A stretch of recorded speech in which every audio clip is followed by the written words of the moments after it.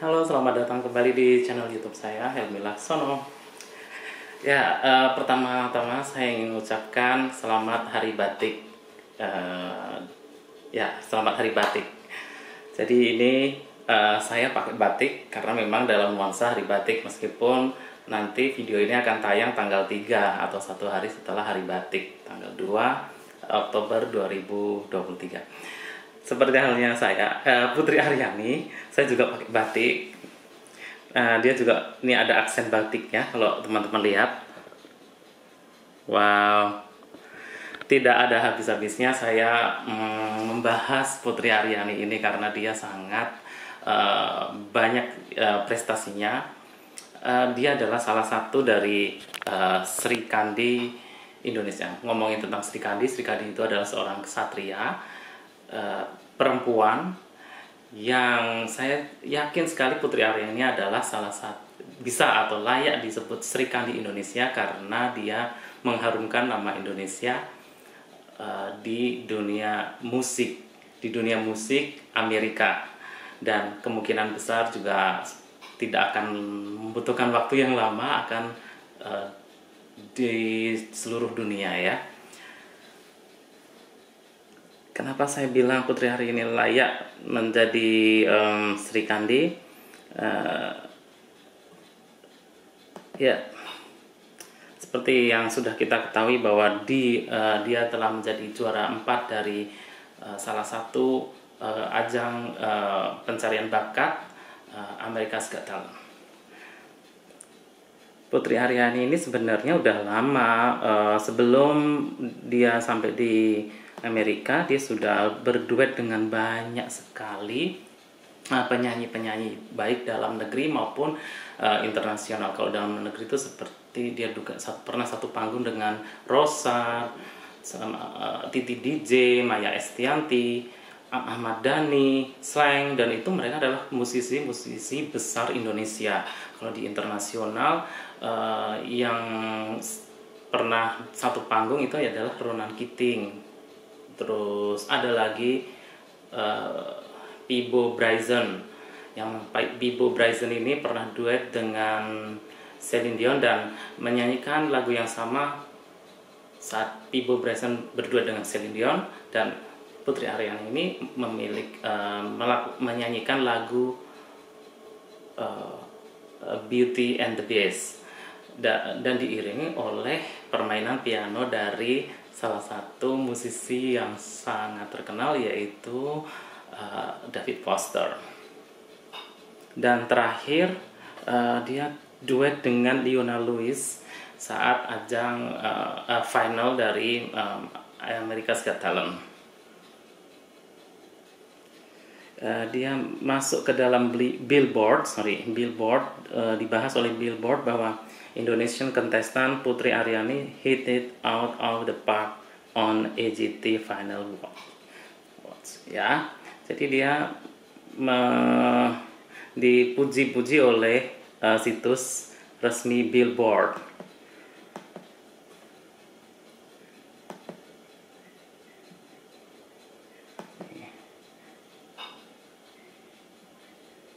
dan dia mem- menyanyikan atau mengcover lagu YouTube. Nah, YouTube ini tidak sembarangan memberikan izin kepada penyanyi yang akan menyanyikan lagunya eh, atau mengcover lagunya. Nah, Putri Aryani ini sangat eh, dipercaya oleh YouTube untuk menyanyikan lagunya di eh, acara final final eh, America's Got Talent. Dan kemudian dia juga menyanyikan lagunya Elton John Eh, terus Leona Lewis juga. Waktu itu duet dengan Leona Lewis dia deng- eh, menyanyikan lagu eh, dia Paltrow atau siapa saya lupa. Yang jelas juga salah satu musisi legendaris atau penyanyi legendaris. Jadi eh, saya rasa Putri Aryani sangat layak disebut sebagai salah satu Sri Kandi Indonesia yang mengharumkan Indonesia di bidang seni terutama seni eh, tarik suara. Dan yang kedua ada selain Putri Aryani yang di Amerika itu ada eh, ini penyanyi eh, Indonesia bernama Niki Zevanya. Nicky Zevanya ini juga bukan kaleng-kaleng ya karena dia sudah masuk ke dunia uh, uh, beda dengan uh, uh, masuk di dunia industri uh, musik Amerika melalui manajemen 88 Rising ya. Dan berbeda dengan Putri Aryani kalau Putri Aryani strateginya melalui talent search untuk mengawali karir dia itu juga ada sedikit kesamaan dia suka mengcover lagu seperti Putri Aryani dan diposting di YouTube lalu dia membuka konsernya Taylor Swift waktu itu waktu di Jakarta. Itu mulailah dia berkembang berkembang dan akhirnya dia ke US belajar. Dan akhirnya menjadi salah satu penyanyi di 88 Rising. Dan ini dibahas oleh Grammy. Grammy ini tidak uh, portal website resminya Grammy. Kalau kita lihat teman-teman lihat ini portal resminya Grammy Grammy Award nah uh, Nikki is ready to reveal her true self on Nicole I have a better idea of who I am and I want who I want to be Nicole ini um, judul dari album yang terbarunya Nikki Zevanya. Nikki Zevan. Nah sekarang tahun 2023 ini Nikki melakukan world tour di beberapa kota di dunia uh, no tidak di beberapa uh, di banyak kota di dunia ya karena di Amerika Serikat terus di Kanada seperti Vancouver. Terus ada Australia Melbourne Brisbane dan uh, Sydney. Asia Tenggara seperti Manila di Filipina uh, Singapura dan Kuala Lumpur di Malaysia Jakarta tentu saja Bangkok.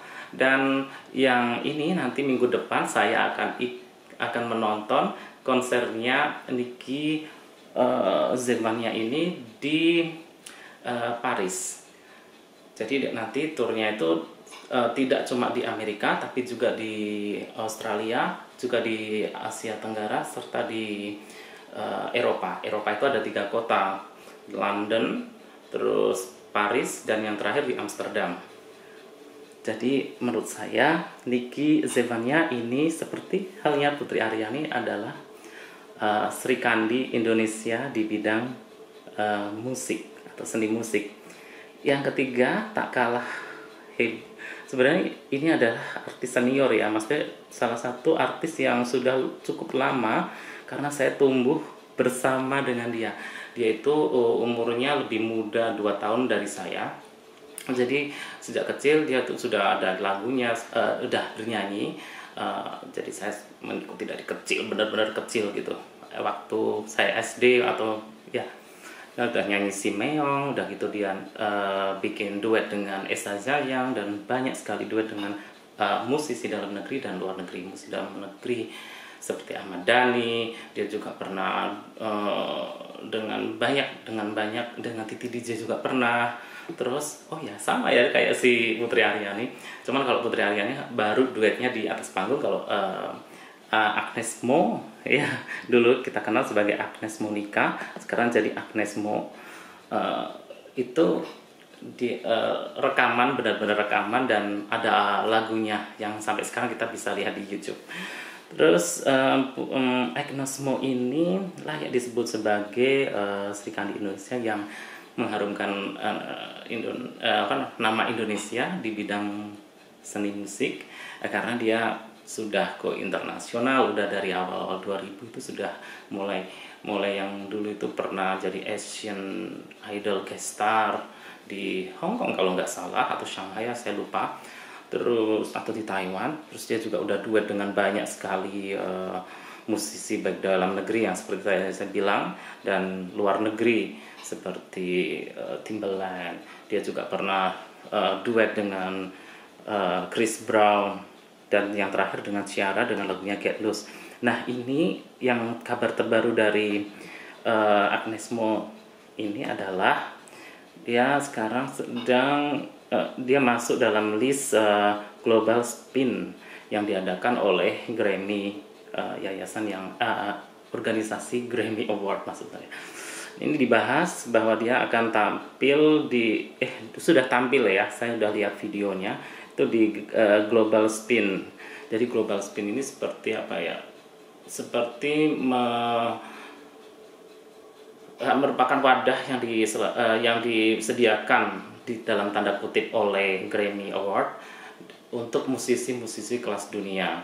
Nggak cuma Agnes Mo sebenarnya, jadi Agnes Mo sudah setara dengan Aira. Aira ini uh, yang menyanyikan lagu uh, Bloody Samaritan yang kalau kalian sering uh, buka di TikTok atau Instagram sempat viral dengan lagunya Bloody uh, Marit uh, Bloody Maritan juga dengan banyak sekali musisi-musisi dari Amerika Latin seperti siapa namanya? Rubio. Rubio ini adalah uh, musisi dari uh, Chile. Nah, sebenarnya Agnes Mo, Agnes Mo ini atau Agnes Modika ini bukan pertama kalinya mem, uh, ikut acaranya Grammy. Sebelumnya tahun 2013 ya 2013 kalau nggak salah itu men, uh, mengisi pre-party Grammy Award. Grammy Award sorry. Waktu itu dia tampil uh, mengenakan batik juga uh, dan tampil di acaranya pre uh, pre party pre party Grammy Award. Dan yang sekarang uh, Oh ya, sebelum ini sebenarnya juga dia udah tampil di uh, I Heart Radio Award uh, Festival, pre-show festival, sorry. Jadi uh, dia kalau nggak salah juga satu ada Jason Derulo kalau nggak salah di sana. Uh, dan ini sangat prestasi, eh sangat membanggakan prestasi ini karena memang uh, uh, di Agnes Mo ini tidak pernah uh, terdengar gosip-gosip miring ya kalau saya saya lihat. Tapi selalu prestasi prestasi prestasi sampai kita capek sendiri ngomongin prestasinya dia. Karena dia juga pem, uh, peraih award terbanyak uh, di Asia Tenggara ya penyanyi dengan peraih award terbanyak di Asia Tenggara. Dan um, oh ya saya tadi bilang bahwa ini bukan pertama kalinya Agnes Mo mengikuti ajang-ajang uh, musik um, dunia yang dulu kalau pernah ingat Agnes Mo pernah mengisi uh, red carpet uh, Amerika American World Music World Music ya AMA. Terus juga dua dengan uh, Chavez siapa dia? Penyanyi dari Sao Paulo uh, Brazil Chavez lupa saya lupa namanya. Tapi waktu itu uh, dia pakai bahasa Portugal atau Brazilian. Terus si Agnes memakai bahasa Indonesia itu keren banget. Agnes dipanggil Agnes Agnes. Jadi kalau orang uh, orang Brazil itu kalau panggil nama Agnes itu nggak bisa Agnes gitu. Agnes Agnes Agnes. Terus kalau orang Prancis itu Anye Anye Agnes Agnes gitu. Nah ini akan keren sekali. Jadi tiga-tiganya saya lihat puang komang atau dalam bahasa Indonesia-nya itu Eh, kesamaan ya bahwa mereka itu adalah pekerja keras. Terus mereka adalah orang-orang yang masih apa ya memiliki spirit untuk uh, doing better. Dan seperti Putri dia kayaknya menginspirasi Putri Aryani bahwa Putri Aryani. Dia sekarang ini kan Putri Aryani sangat berani atau percaya diri mengatakan bahwa oh ya saya ingin meraih uh, Grammy Award saya ingin menjadi seperti seperti Whitney Houston. Jadi berani untuk mengungkapkan mimpinya itu luar biasa. Jadi tiga-tiganya yaitu Putri Aryani, Agnes Mo, dan Niki Zevania adalah Sri Kandi Indonesia di bidang musik. Itulah uh, bahasan kali ini. Sampai jumpa di konten selanjutnya. Bye.